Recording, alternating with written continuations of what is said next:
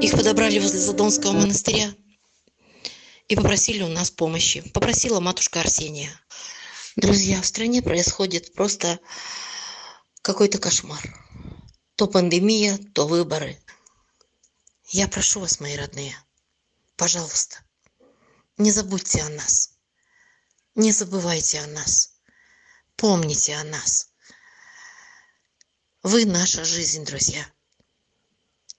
Вот эти крошечные, маленькие жизни, они зависят от вашего милосердия и сострадания, от вашей доброты и внимания. Я могу только обратиться к вам, люди. Пожалуйста, пожалейте щенят, котят, тех, которые вокруг нас. Помогите нам спасти тех, кого мы уже смогли подобрать. А мы клянемся, всеми силами клянемся, что будем продолжать нести добро в мир.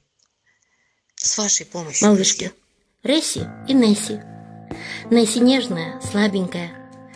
Вот эта более темная – это Ресси, а та более светленькая – Несси.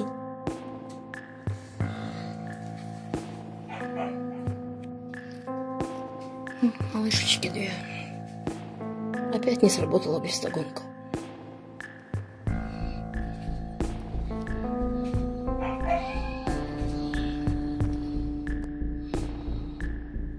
Две сестрички. Нам кто-то подарил вот такой заборчик. Огромное спасибо. Просто от всего сердца. Спасибо. А я опять капаюсь.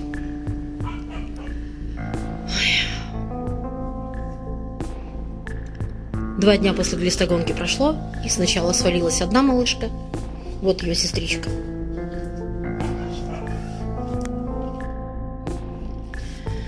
А сегодня плохо стало и этой.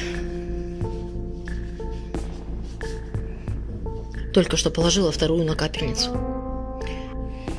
Малышку от вторую буду капать в 12 ночи, потому что я ее капала с утра, а вот ее сестричку только сегодня один раз.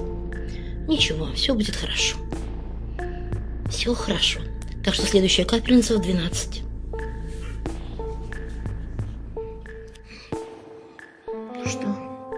Время 12 ночи. Мы делаем вторую капельницу. Да, котик? Надеемся, все будет хорошо. У нас рвота, фосфолигель. Ничего. А вот вторая малышка. У нее вот такой шрамик на лбу есть.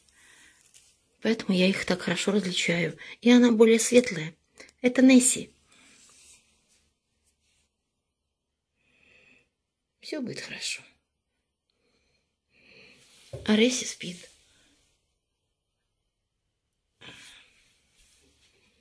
Да, солнышко, все будет хорошо. Несси чувствует себя хуже.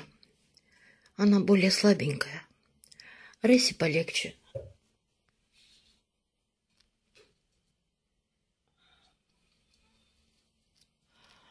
Но загадывать в таких делах нельзя.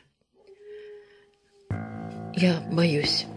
Я энтерита, ребята, боюсь как огня. Я надеюсь, что это просто глистная инвазия из-за слабости. Все, первую малышку докапали. Сейчас вторую. Девочки слабенькие, но, по крайней мере, крови уже нет. И слава богу. Сегодня, друзья, мне ближе вот эти две малышки, что лежат у меня на столе, и в 12 ночи я их капаю. Их жизнь мне ближе, чем выборы, которые еще только предстоят. Пожалуйста, друзья, давайте не будем забывать о них. Наступит день выборов, и мы определимся. И сердце подскажет, за кого голосовать.